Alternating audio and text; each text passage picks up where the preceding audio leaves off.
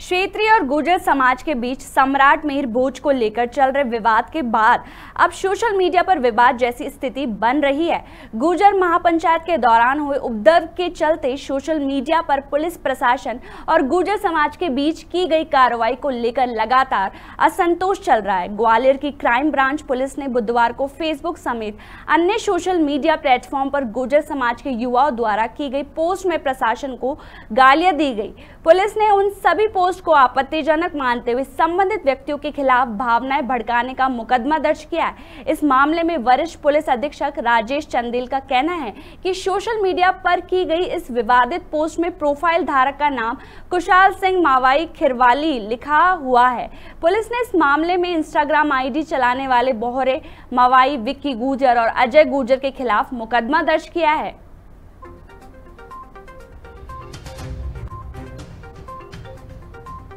कल कुछ ऐसे सोशल पोस्ट मीडिया पे पोस्ट आई थी हम लोगों के संज्ञान में,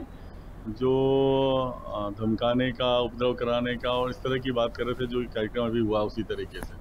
जबकि ना कोई इस तरह का कोई कार्यक्रम के बारे में बताया गया, ना कुछ ऐसी बात की गई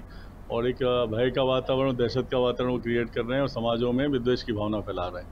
हमने प्रकरण पंजीबद्ध किया है, एक आरोपी उसने पकड़ा भी है और हम ऐसे लोगों पे कार्रवाई करेंगे जो इस तरह का माहौल करने की कोशिश करते हैं उन पर सख्ती से कार्रवाई की जाएगी।